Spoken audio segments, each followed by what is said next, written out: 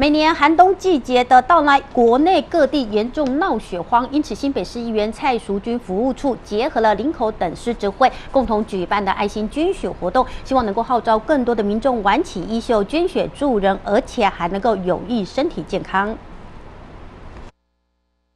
每年冬令期间，总是有不少的意外发生。为了让国内血库不予匮乏、以备不时之需，由市议员蔡淑君服务处与林口竹林安贵狮子会在社区运动公园旁联合举办一场捐血活动，呼吁大家一同挽袖捐热血。你看，我们的奖品有这么丰盛，还有我们的人有这么热烈，那是因为我们呃，我们南师有准备礼品，那我们安贵会也有准备礼品。还有最主要是我们的赎金议员也都有准备一些礼品来。诶，给这些好热心的民众这样子，在林口呢，我们有林口狮子会、安贵狮子会，还有竹林狮子会。那平均我们每三个月呢，都会共同来举办这样子充满热血、充满感情，然后充满温暖的捐血活动。狮子会相当感谢蔡议员对每次举办的捐血活动都相当支持与热情赞助。为了吸引更多的人投入捐血行列，蔡淑君议员还准备了精美小礼品要送给前来捐血的民众。